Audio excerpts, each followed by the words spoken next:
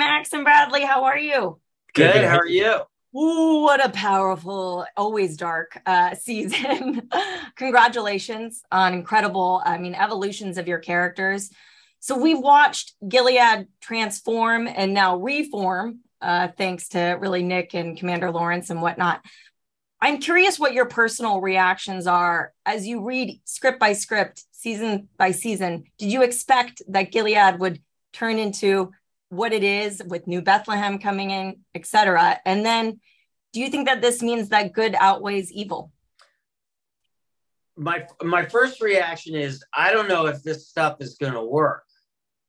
Uh, and it's a very dangerous uh, uh, uh situation trying, you know, you know, uh, trying to uh, put uh, reforms uh, in place. I, I, think that part of the thing that allows Lawrence to do this is a kind of recklessness and sort of existential uh, need to follow the path to redemption that June has showed him, right. you know, in the wake of, of, of Eleanor's death. But um, uh, June, part of the power of the show is is June's ability to blow on the spark of decency uh, in very different ways uh, with me in a kind of familial, paternal way, and and with Nick in in a in a romantic way. But um, I honestly I have mixed feelings about it. I mean, do we want to make it look easy to uh, uh, to deal with white nationalism and fascism? Do we want? Uh, you know, I don't. Uh, doesn't seem to be too easy to deal with. No. So we'll see.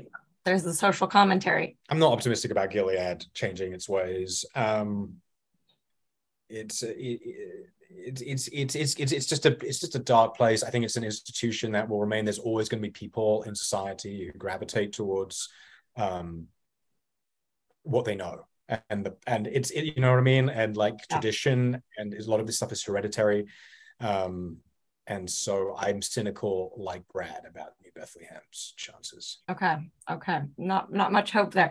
Um, Max, did you ever see? I mean, from the beginning, from the first script that you had uh, with this character of Nick, did you ever see that he would become a commander? That he would become such a position of power?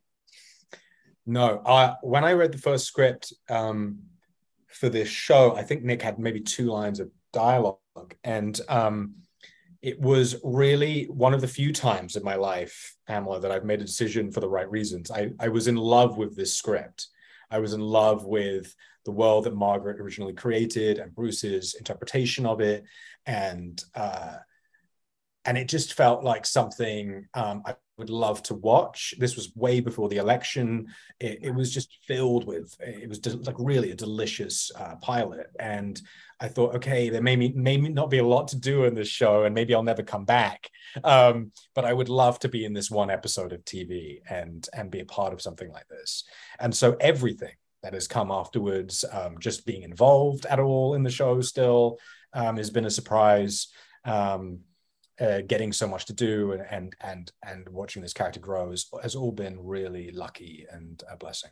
I'm curious because it's such a dark show, and obviously, you know, as as people coming stepping off set, how do you get out of that headspace? And obviously, then we step into the into reality with everything that's going on in the world and and chaos and whatnot, and and and political um, this, that, and the other. How do you personally get out of the headspace of your characters? Our set's pretty pretty light. Okay. Um, you know, it's weird. There was one scene that I wasn't in, actually. I wasn't in this scene, but there was one scene this year in season five that uh, made me so uncomfortable. Um, I had to like leave. I had to leave the set. Um, and that's the first time that's ever happened to me on this show. Like normally, I normally I, I, really can contextualize everything and we really have a good time together. Everybody in the show is so effing nice. Um, it's not a heavy environment. Um, but yeah the first time this year i felt like oh some of the stuff we're doing here is tough. It's really tough.